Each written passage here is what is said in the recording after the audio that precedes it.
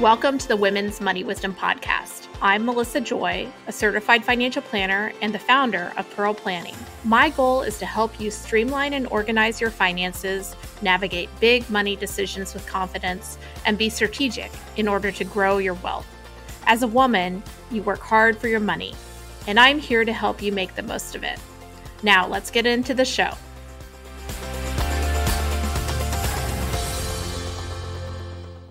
How do you manage when everything seems like it's too much? Today, we're going to be talking about overwhelm when things become complicated, when you've always been able to do everything, but now it doesn't feel like you have the time. And we're bringing in an expert life coach who is going to tell us all about it. I'd like you to welcome Michelle Gauthier. She is a professional life coach who helps busy, overwhelmed women create a more calm and intentional life. Michelle is also the host of the podcast Overwhelmed Working Woman. We will make sure to have a link to the podcast in our show notes, and I encourage you all to check it out after you listen to this great conversation. Michelle, welcome to the podcast. Hey, thank you so much for having me. Well, I feel like maybe we are recording this episode just for me, but I have a feeling that there are other people listening who have always been, you know, putting their best foot forward, perfect, able to juggle all of the things. And maybe that feels like a lot right now. Maybe they're realizing that that doesn't bring them contentment and joy.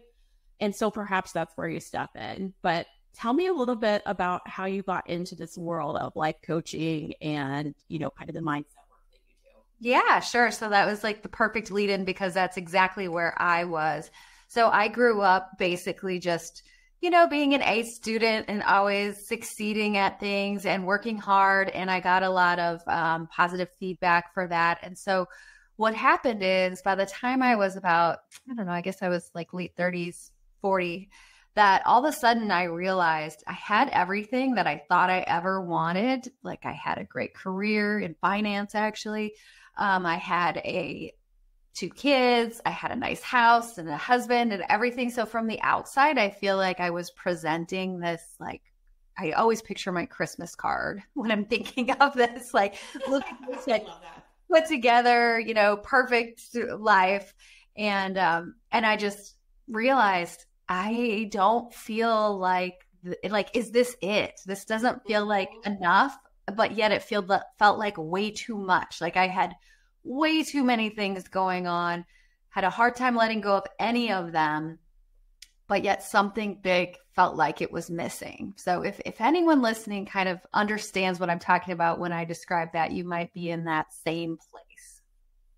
I once had a job, a long commute, and you know, all just like you're describing, all the things were checked off the list. Um, you know, I made partner, made the money that I wanted to make, and I had this like kind of aha moment on that long commute. Like, why doesn't it feel better? Because, you know, the mm-hmm. more I achieved, the less it felt good. And then, and the less I knew what was next that felt like I wanted to go toward. So yes.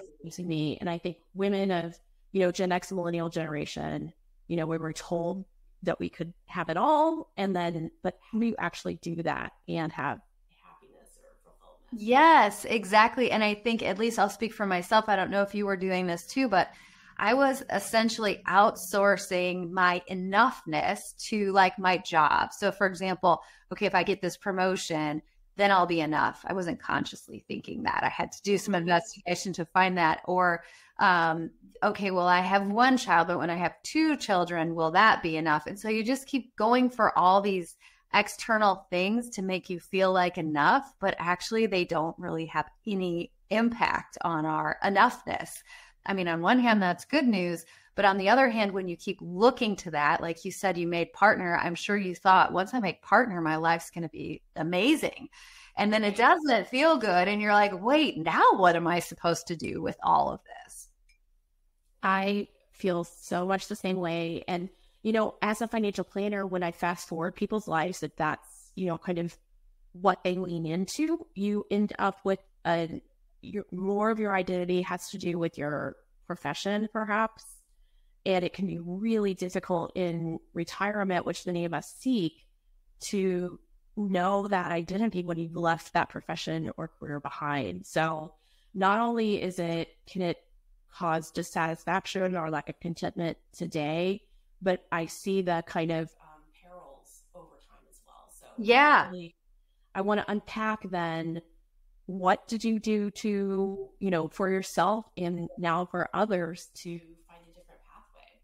Yeah, it was interesting because the first thing I tried to do was to do my tried and true method, true method of just doing more. So I was like, oh, maybe work harder or volunteer at my kid's school or whatever. I kept adding things to the list, which was sort of the opposite of what I should have been doing. But that was my go to strategy. You know, like if you're not doing well in a class, study harder. If you're not getting promoted, work more, you know. So that was sort of my go to, but that didn't work.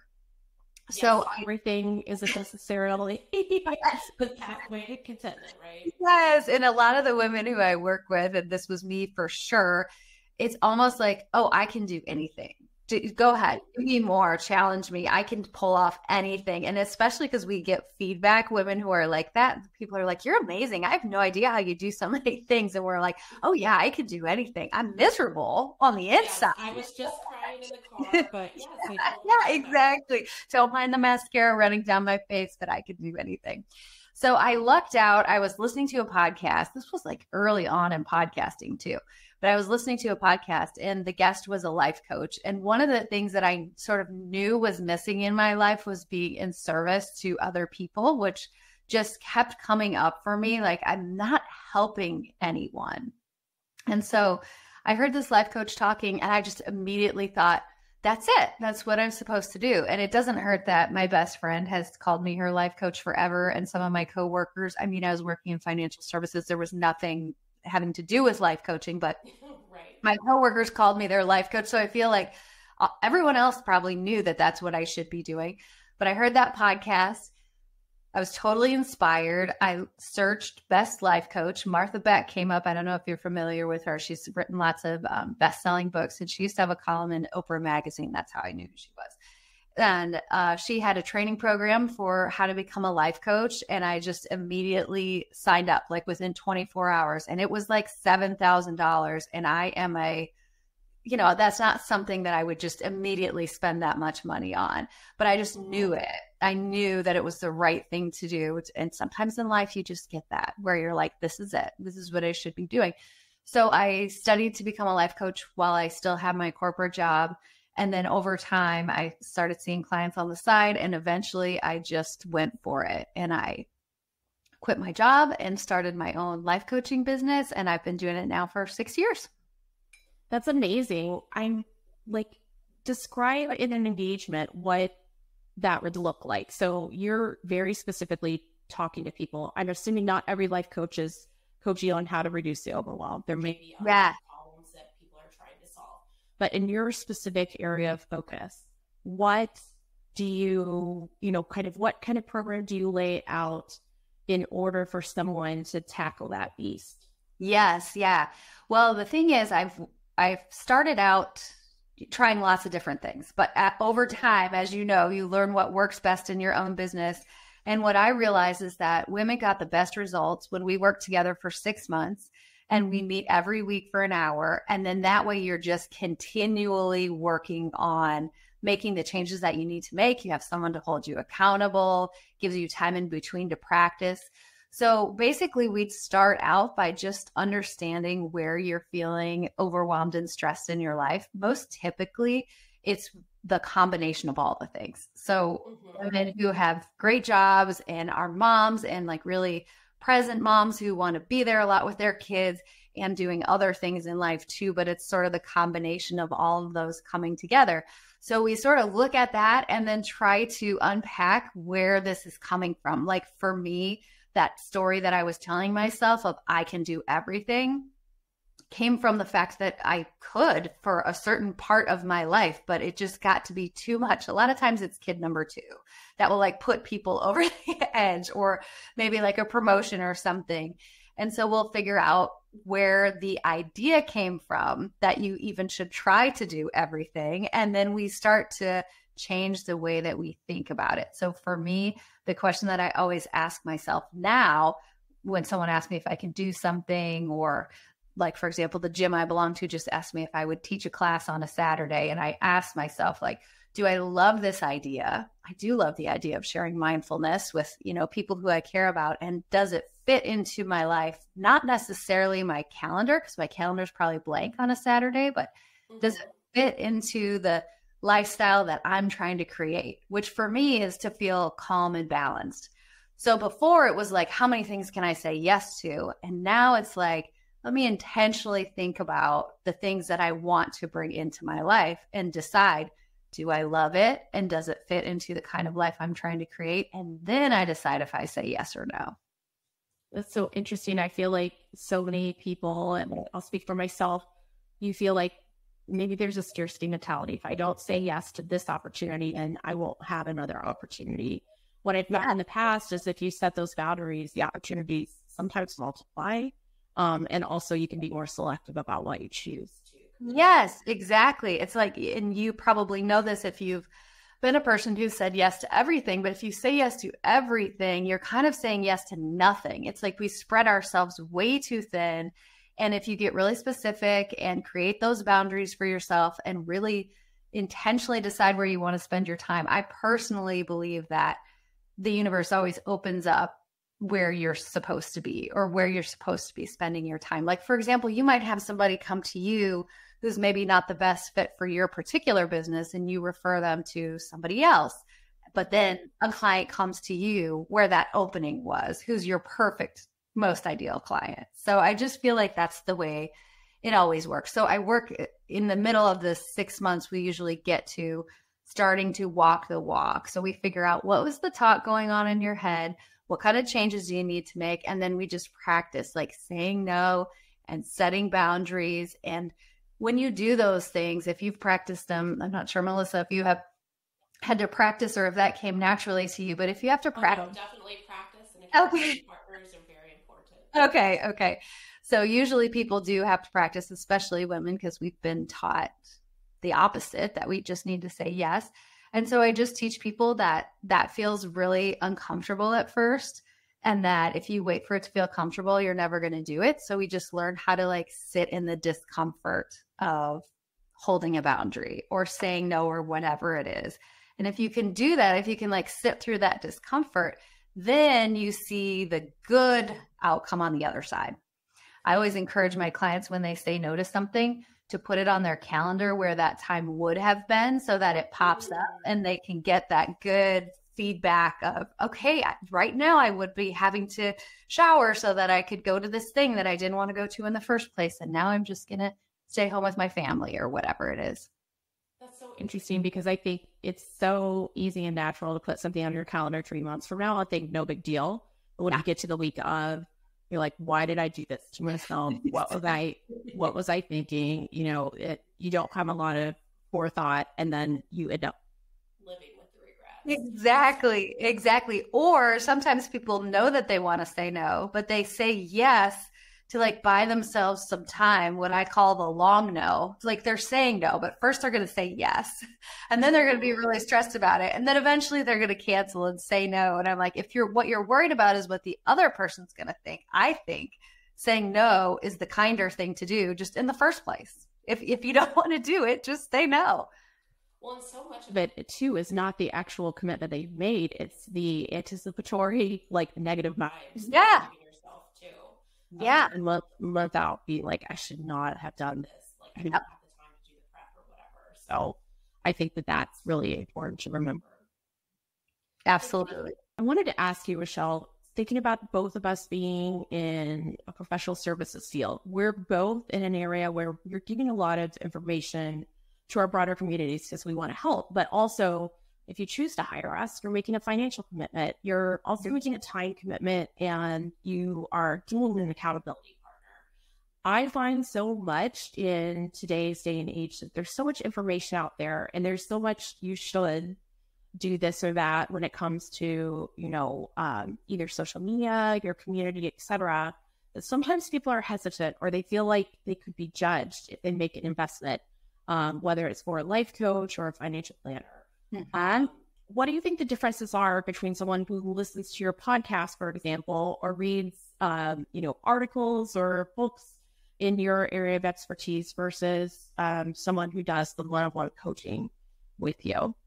Yeah, I think it's um first of all, I always encourage people, especially if they're hesitant about making the investment, to find what's out there for free because like for example, your podcast and my podcast are out there for free and I do try to give lots of great actionable information, but it is not the same as having someone sit with you for an hour every week talking specifically just about you, your history, your background. I get to know who people's bosses are and their spouses and all their kids and you know, learn everything about them.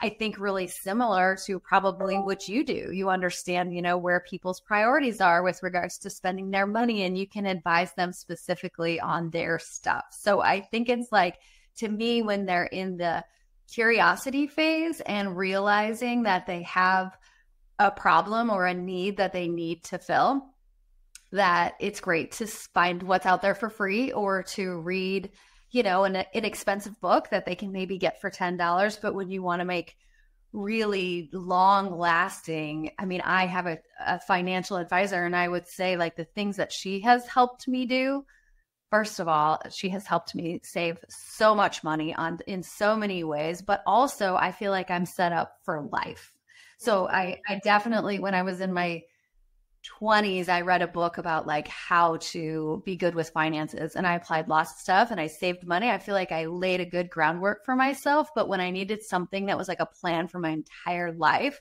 i hired someone and i think it's the same for this because if a person who should, wants to work with me, decides not to, then they're just going to keep doing what they're doing forever. And it doesn't feel good because it's stressful and overwhelming. But if you do six months and you feel so much better, then you have the skill going forward to be able to not feel stressed and overwhelmed. You have those tools. So I feel like we, we're both offering lifelong solutions. I agree with you. And I think it's so interesting to parallel you're describing a point in life where people get to a difficult moment where they can't navigate the complexity of the decisions you're put in front of the complexity of all the needs, all of the requirements, everything that you, you know, whether it's self imposed or, you know, because you've got kids and they need to get to school and activities, the the ability to navigate both of those things. And I think in financial planning, there is there are great resources for some of the basics. And then it gets more challenging when you get to the point in time where you're like, okay, I'm maxed out at 401k and there's still some money left over. How do I decide where that money goes to next? And it's more complex because you have college funding plus retirement plus, you know, maybe your parents have needs, et cetera, et cetera. And so at that point in time, it's kind of like being in the cereal aisle where there's not three choices. It's like, don't just make an emergency reserve but you really need some help to navigate and balance. And then you also, it can be really helpful um, in both of our areas of work to work on mindset because you, you can have enough and feel like you're not doing well, whether it comes to money or just life. Yeah, exactly. Exactly. And I do feel like I talk to my clients about money, and I'm sure you're a part time life coach. yes. And I'm not trying to be a full time life coach. I'm not trying to be a full time therapist, but also if you're not willing to you know explore those um those tangents like you know both of our jobs are trying to try to help with your overall um you know well-being if that's correctly. And if you don't work with someone who's not focused on your well-being and is just focused on the dollars and cents i would encourage you that there are other people out there that do better for that. Yes yes. With coaching if it's just like check this list off and then give me your homework, I'm sure that's not exactly not, yes, exactly. There are a whole variety of people, but I think a good example, and this is, I mean, use myself as an example again, but this summer I went on this amazing trip with my kids. I have two teenagers, I'm a single mom. The three of us went on a trip for 16 days to Europe. And being able to do that required financial advising and life coaching because mm-hmm. I'm sure you see this all the time where your people have the money to do something, but they're hesitant to do it because of something in their mindset. So I truly had to work on both of those things because I thought I don't want to spend the money and then be worrying the whole time. So I really had to work on the mindset of like, I have this. This has been on my bucket list forever. I really want to do this. And my financial advisor was the one who was like, okay, I'm going to literally send you the money today. You have the money to do this. Like, just do it. Yes. Yeah, exactly. So it, I feel like there are lots of big things in life. Retirement might be another one. getting married or, you know, having a partner in life where there are so many thoughts that go along with the money piece of it that, you know, having both of those things really covered is really important in life.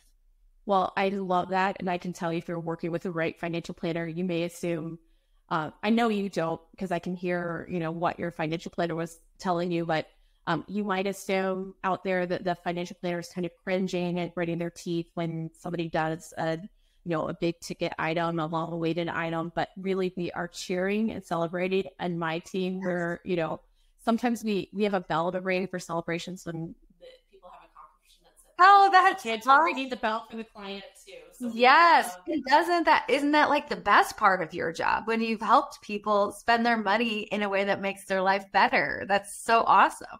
We love to say yes, absolutely. Yeah. if you could just give a little more um, as we're kind of wrapping up, I would love to just kind of finalize it. You described that time in your life where you were trying to do everything and fulfill all of the external expectations and didn't feel like it was working. What does life beyond the amazing trip to Europe, what does life look like now for you? Where is it different than those? Oh yeah, um, everywhere. Let's see.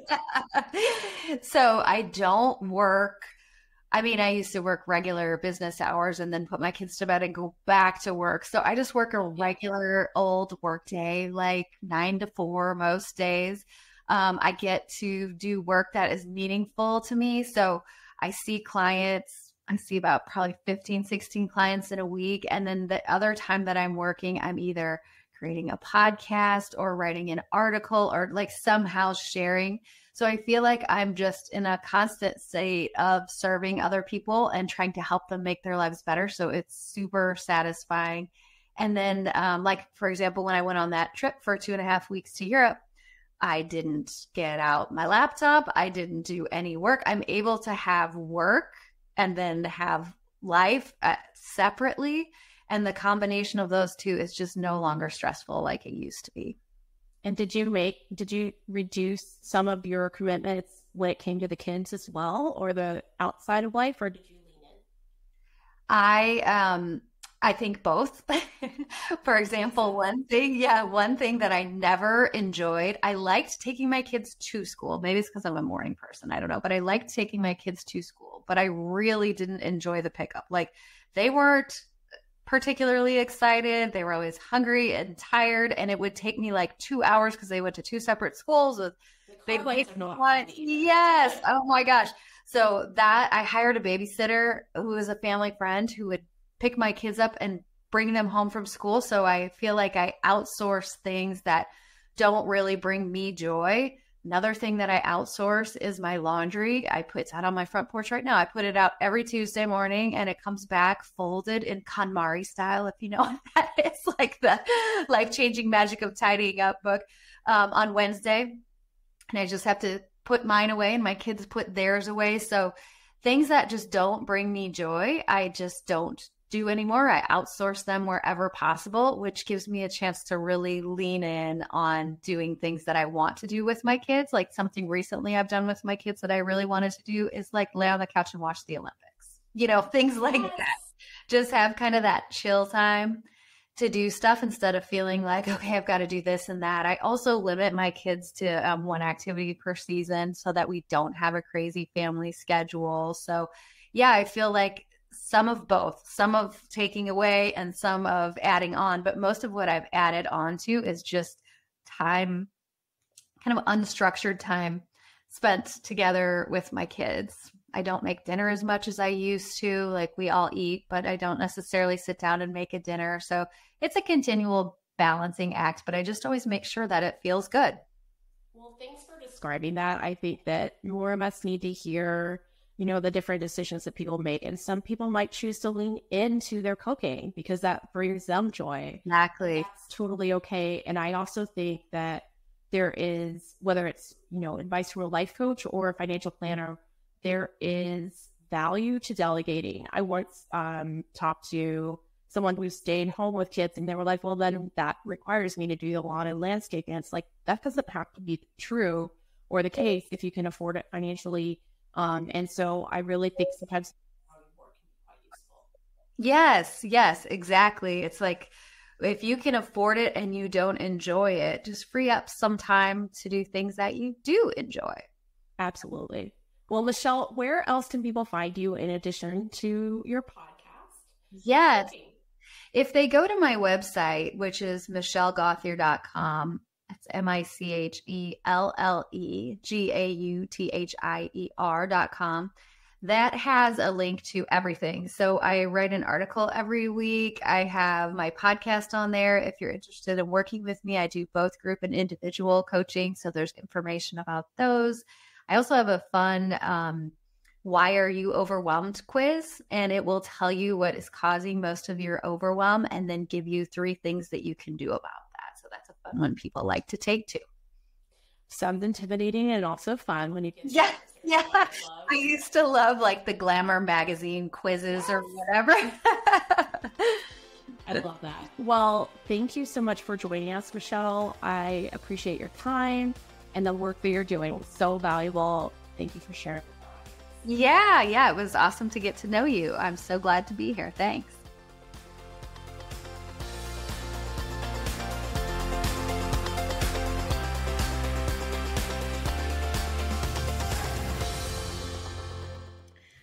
You for listening to the Women's Money Wisdom Podcast. If you found value in this episode, the best way you can support the podcast is to forward an episode to a friend or leave a review. Go to pearlplan.com and the podcast link to get all the resources and links mentioned.